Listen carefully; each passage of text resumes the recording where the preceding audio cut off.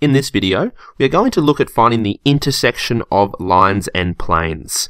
So this is related to the topic of vectors, and we're going to do an example question where we're going to find the vector equation of a line and see where it intersects with an equation of a plane. Now this is a key concept. Uh, this type of question does appear quite frequently in IB maths exams. Okay, so we're given two coordinates here, a and b, and we want to firstly uh, find the vector equation of the line that passes through a and b. And this would typically be prompted at the start uh, of your exam question. So the vector equation of a line, L, will be in the form of r equals a plus tb, where a is our uh, position vector and b is our direction vector. So we can use the position vector of a that's 1, 4, 2, uh, plus t, and our direction vector, let's see, put a t, our direction vector will be uh, the vector AB. Now AB will just be 4 minus 1, uh, 6 minus 4, and 3 minus 2, so we 3, 2, 1. Okay, so we've found our uh, our vector equation of the line passing through A and B, and we want to know when does this line intersect with our plane here, 2x plus 3y minus z is equal to 34.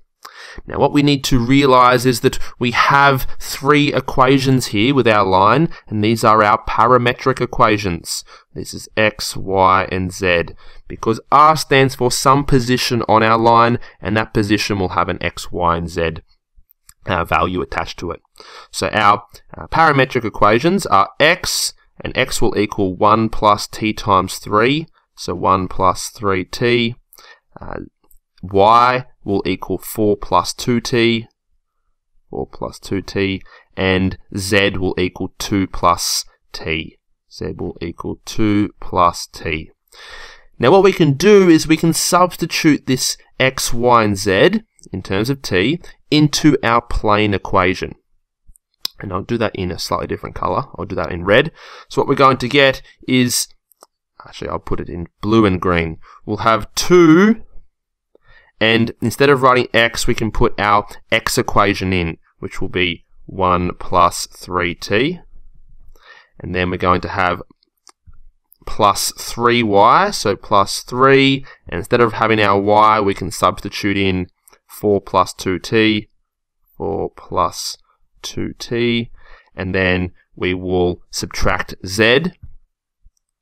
So we're going to subtract, and z was just 2 plus t. 2 plus t, and this will equal 34. Now, what we have now is an equation in terms of t, so we can solve for that value of t, and that will be the parameter uh, for when this intersection occurred.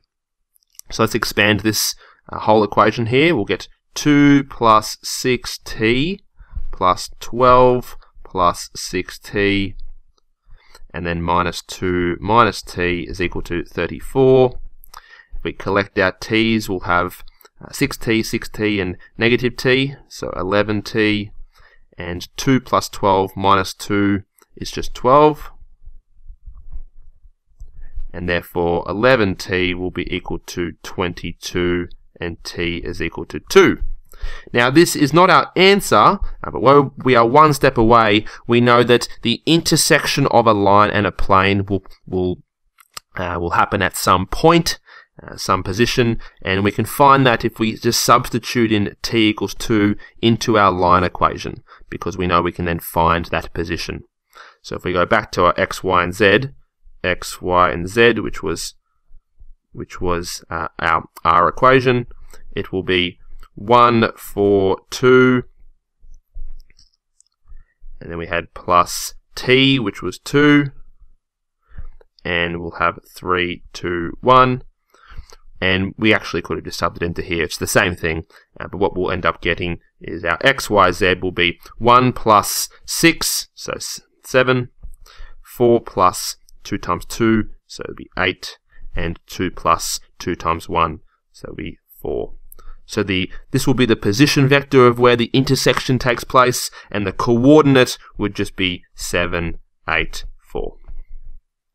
Okay, so hopefully uh, you now understand how this topic works. We, we are going to have lines and planes in our topic of vectors here, uh, but if we do need to find the intersection of the two, we can just get our parametric equations for x, y, and z and substitute them into our plane equation, and we'll solve for t, and then we once we know t, we can find any, and we can find that point on our line. Okay, good luck.